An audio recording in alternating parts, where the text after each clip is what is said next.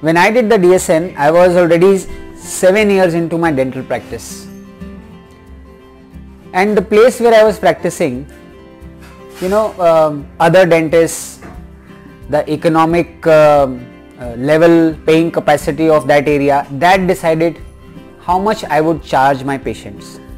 So for seven years, I was practicing, but I was not happy with the amount of uh, money I was charging my patients for the services I was giving.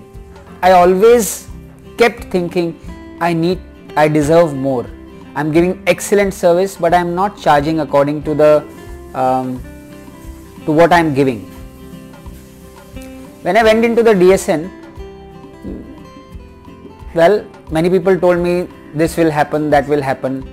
I had a great program but my breakthrough came on the last day. Actually, after the DSN, I was uh, going home at night on a, on the Sunday, and suddenly this thought struck me.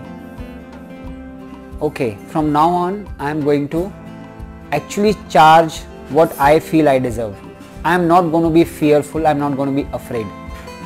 I will take chances. You know, Monday morning, I increased my charges two and a half times. First three months, suddenly my patients dropped, footfall dropped. There was a tough time, three, four months. But once I had decided I was not going back.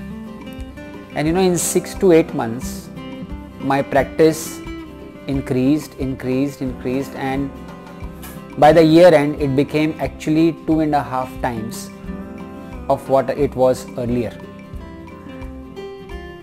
So this was my biggest breakthrough of DSN.